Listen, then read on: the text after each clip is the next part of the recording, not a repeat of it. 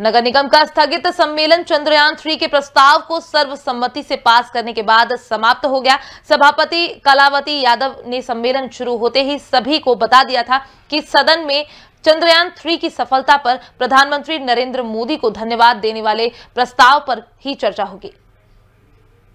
Chandrayaan three की सफलता को लेकर इसरो वैज्ञानिकों को धन्यवाद दिए जाने के प्रस्ताव पर कांग्रेस पूर्व में ही समर्थन कर चुकी थी, लेकिन आज कुछ समय के लिए कांग्रेसी पार्षद सदन में आए और थोड़ी देर में ही सदन से उठकर चले गए। वहीं आज के सदन में एक निर्णय ये भी हुआ है कि आज के सम्मेलन का कोई भी सदस्य वेतन नहीं लेगा और न ही जलपान करेगा। इसकी घोषणा सभापति कलावती यादव ने की ताकि निगम पर इसका खर्च न आए।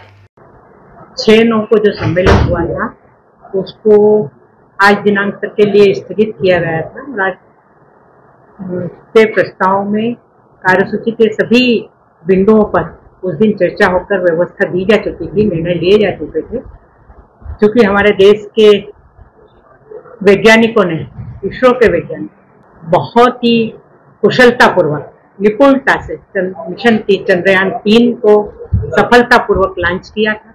हमारे देश के यशस्वी प्रधानमंत्री माननीय नरेंद्र मोदी जी के द्वारा उनको प्रतिक्षण प्रोत्साहित किया जा रहा था और जो भी इस मिशन के अंतर्गत जिस तरह की भी व्यवस्थाएँ देश के माध्यम से या उनको जिन जिन आवश्यक, आवश्यकताओं की आवश्यकता थी, जिन जिन जरूरतों की आवश्यकता थी, वो सब पूरा किया, उनको प्रोत्साहित करने का काम किया। निश्चित रूप से देश के प्रधानमंत्री नरेंद्र मोदी जी के नेतृत्व में हमारे वैज्ञानिकों ने वो प्रतिमान गढ़े हैं, जिसके लिए हम पूरे विश्व में, विश्व गुरु की ओर कदम बढ़ा रहे हैं और देश गौरवान्वित हुआ है, देश का प्रत्येक नागरिक गौरवान्वित हुआ है।